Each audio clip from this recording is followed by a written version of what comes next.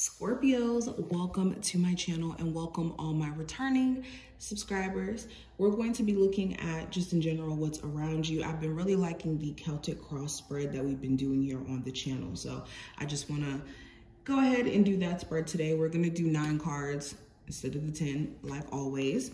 And any information that you may be looking for will be listed in the description. So check there if you are interested in getting a personal reading or checking out my pick a card channel. I have a really dope channel that you guys can get like more so personalized readings basically that's how it is uh, on that channel so check that out below but let's get into it so your present situation scorpios we have the four of swords the challenge we have the queen of swords your recent past, we have the Page of Swords, a lot of sword energy. Near future, we have the Devil. Conscious mind. Okay, we're going to take both of these. We have the Wheel of Fortune and the Two of Swords. Unconscious mind, we have the Queen of Cups. External influences, we have the Ten of Cups. Hopes and fears, we have the Death card. And the outcome, we have the sun card. Okay. Interesting. Let, let's get into it. So the four of swords representing your present situation, there's a lot of ideas that are running through your head and there's a lot of thoughts that you're thinking. You could be in your head more than you are in your physical reality. So be careful of getting into this energy of disassociating. I almost said that word kind of weird. That's why I said it like that. But be careful of disassociating from your immediate surroundings by being so in your head about plans that you may have, things that you want to do, and brainstorming to where you're not putting it on paper or you're not doing it in a way where it's productive.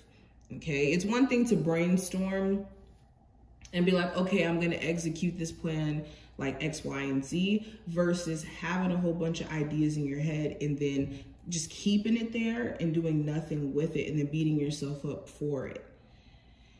Uh, you're also going to be taking some sort of break here with this Four Swords energy. This is you taking a break from communicating with someone here. Uh, and you taking this break. Now, you may have been on this break or you're taking this break during this time frame, but in you taking this break, it's going to give you a lot of peace of mind and understanding about yourself. And there is, I'm also picking up a decision that you may have to make and sit on for a little bit before you make it. Now, let's go ahead and get into the challenge. With the Queen of Swords, the challenge may be you being in your head. Because I'm seeing so many sword cards here. You guys could be more in your head than in your reality. So this is a reminder to find ways to be grounded and find ways to be more so strategic than worrisome. Okay, because we only have to work and and also knowing the difference between what you can control and what you can't control. Because you it, there's no point in worrying about what you can't control outside of self. But yes, also the challenge could be communication with someone. The communication could be pretty bad where you guys are just not speaking or someone's not being all the way honest or forthright with what they have going on giving you a sense of clarity, it, what you may be wanting, they may not be giving that to you. Now, going into your recent past with the Page of Swords, there may have been certain things that you saw on the internet and it made you kind of side eye someone.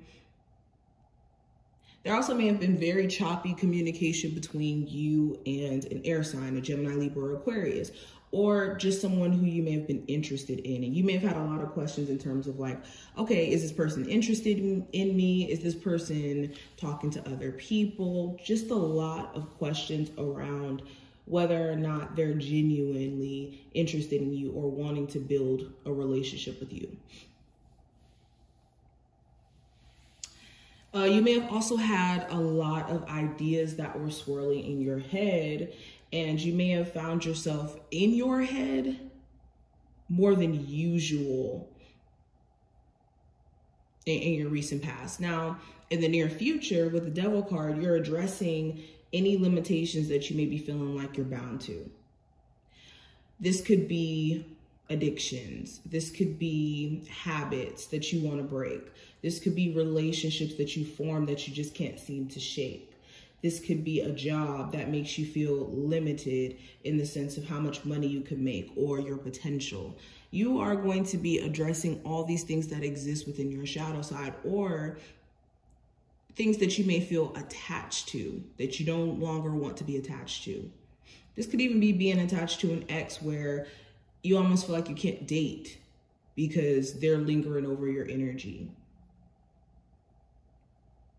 Now, what I see for your conscious mind, I do have the Wheel of Fortune and the Two of Swords here. So, uh, conscious mind, you're wanting change, but you could be in a space to where you're not really sure where to start or what idea to start on or how to execute the idea. And if it's not necessarily that, it could be the fact that you don't have certain pieces of information quite yet. And that's why you could feel a little conflicted. For others of you, it's like you're experiencing change that you're not able to process all the way. Like there's no answers to, there's no resolution to these changes. It just is what it is. Sometimes when the Two of Swords comes up. Now, the unconscious mind with the Queen of Cups, you could be mainly thinking about yourself in the sense of how you feel. There could be a lot of feelings that are like festering within your subconscious and controlling your day to day actions or your everyday um, focus. There could also be a lot of desires that you have that are existing within your subconscious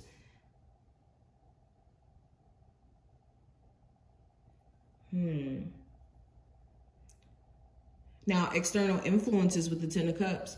Family could be an influence during this time frame. Your sense of happiness. You could be feeling like you're you're put in a position to where you have to choose your happiness, and that's what you're to be choosing. Um, what else? Yeah, mainly family, family members, people that could be close to you could be giving you advice and could be influencing you in a sense. Or someone else's family could also be an influence in regards to a connection between you two. Now, what I see for your hopes and fears, getting into the fears first, the worst. Um, with the death card, your fears could be that with changes that you're experiencing, that maybe these changes aren't going to be for the better. Or your fears could be that maybe things won't change ever uh, for the better. You could be fearful of what you're capable of in terms of your success and your ability to achieve things and what sacrifices may come with doing that.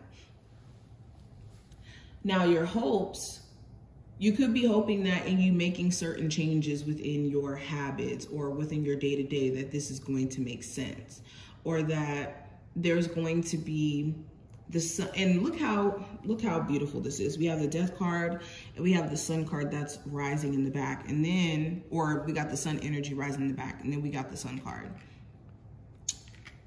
So that isn't a message within itself